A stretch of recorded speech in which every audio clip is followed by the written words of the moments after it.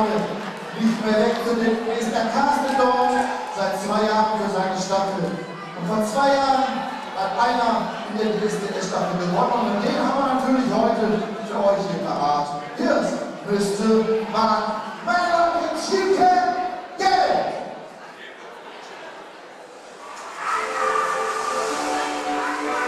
Die Hände die